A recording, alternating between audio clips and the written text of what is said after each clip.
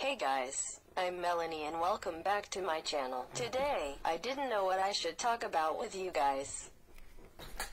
Yeah, but I chose a topic that I'm going to talk about with you guys. Don't mind me if I start to cry right in front of you guys. I hope that I won't cry. Keep your fingers crossed. Oh yeah, I moved from where I shot my videos cause I have a big massage chair, so yeah, I'll show you guys on the end of the video. Oh, yeah, I'm wearing my big hoop earrings today. You guys never saw me wearing them before. Here you go, me wearing my big hoop earrings. You're welcome. So, let's get started. I'm going to talk with you about the time I was bullied because this is very important and serious and I know there's some people who are bullying helplessness kids that they didn't do nothing them right now. And I saw this video of this teenager girl bullying other teenager girl. I'm not surprised that nobody helped her. I was like, wow, is that our world had become now? We should be more helpful and stop taking videos of someone who is getting bullied. I'm serious. I know how it feels to get bullied, so I want you to think about getting bullied and tell me how would you feel? Hashtag stop the bullying. This is my story of the time I was bullied, letting you know. This is a long story, so here we go. I was born with cerebral palsy as you guys know. First, I went to this school, it called Blightdale.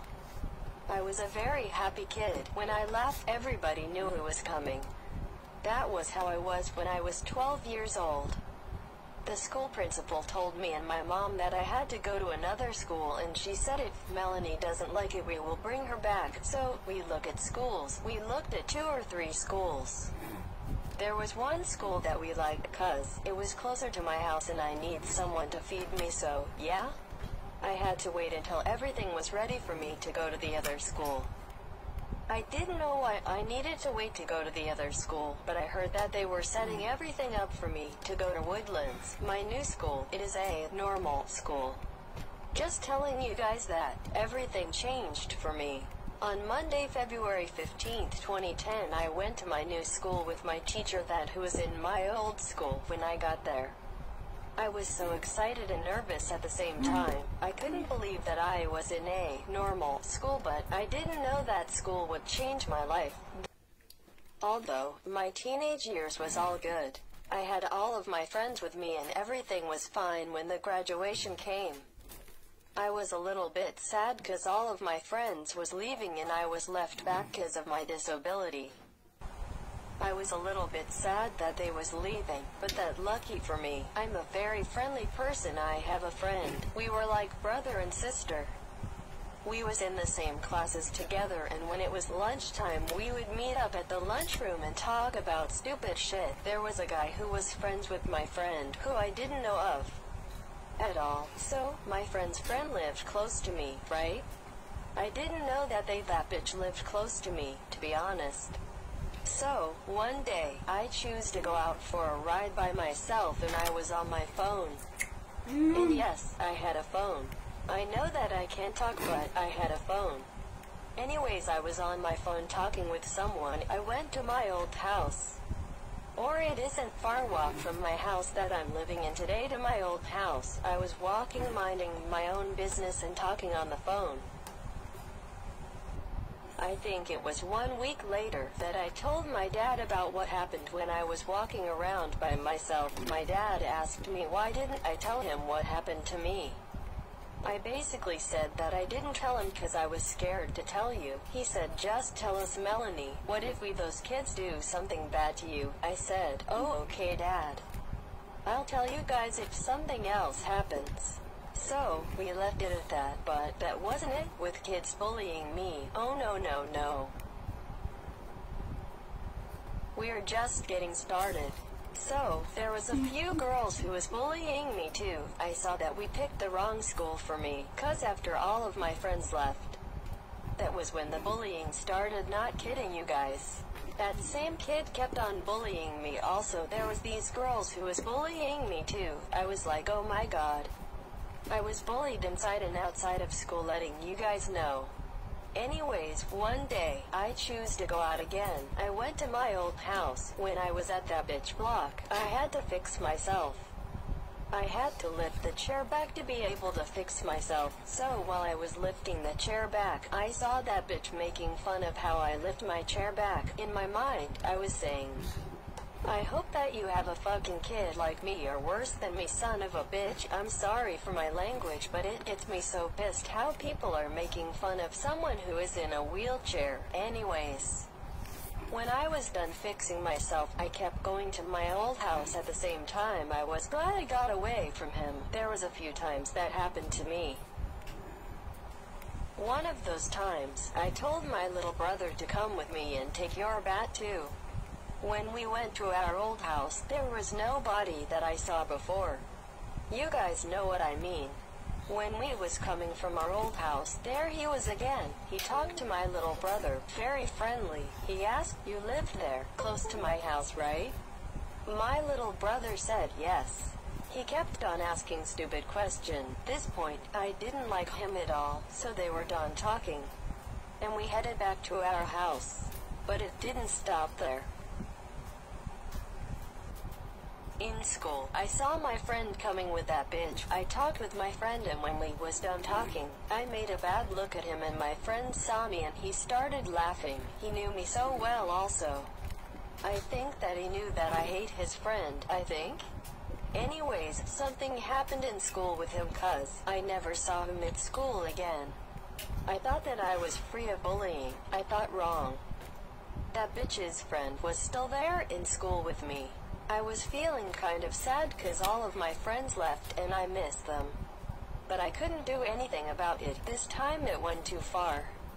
One day my friend, his another friend and I went to the lunch to pick out his food so he went to pick his food with his friend and I went into the lunchroom to wait for them, right?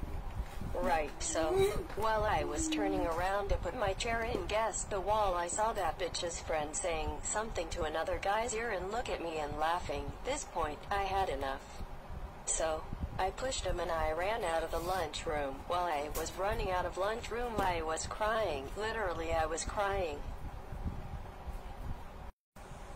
I ran out of the lunchroom. I put my chair against the wall again. I didn't stop crying. I didn't know if my friends saw me crying. I only knew how mad I was at them. I ran through the first door to go to my classroom, and there was a hall monitor. She saw me crying. She asked what happened. Melanie, she knew that something was up with me. I never cried like that before. She asked, was the kids bothering you, El Melanie? I said yes, so we went back to the lunchroom and the kids ran away from getting caught. I didn't tell you guys this earth earlier, but while I was going through this, sometimes I cried in the bus when I got home. Anyways, when everything had calmed down a little bit, I was talking with my friend. I told him that I was so mad at them. I just wanted to go.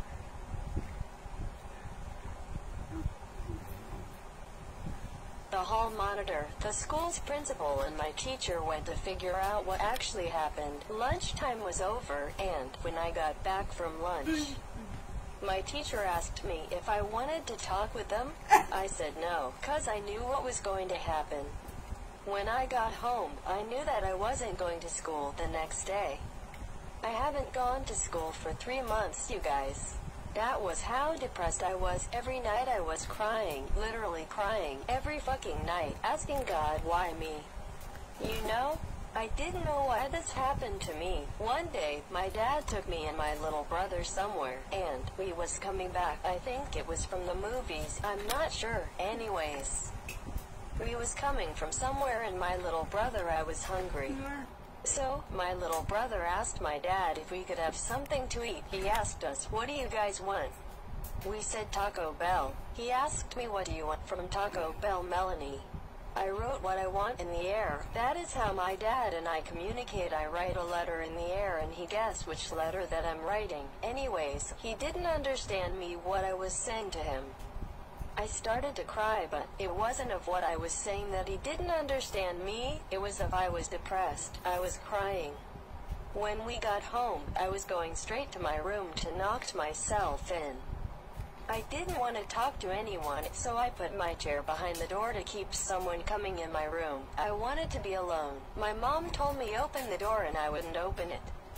My parents told my little brother to open my window and get inside and move me, so he did. I was so depressed. I was so depressed that I wasn't in a great mindset. This was the most I've thought about killing myself. Here how it goes. I was in the living room watching TV, and I was alone. My mom was working. My dad was in his room, my little brother upstairs in his room. I went to the kitchen for whatever reason. I was in the kitchen when I heard my little brother coming down and coming to the kitchen. There was a knife right in front of me. I started to cry and my little brother ran to my dad's room and told him what he thought what I was doing. I went to my dad's room and asked me if I was depressed in Spanish and I was crying and said yes I was. He gave me something to eat and gave me a nice bath and I went to bed. After that happened to me, I graduated from high school, but not with all of my friends that I wanted to graduate with. But I graduated. That was the most important part for me. I learned not to listen to what people say about me. If they are talking about me or looking at me weird or laughing at me, it's only because they are jealous of me. So, there was my story when I got bullied. If you guys like this video then give it a like and comment down below. If you guys kind of have the same story or you guys saw someone was getting bullied before, subscribe for more videos. Have a good day I love you guys later.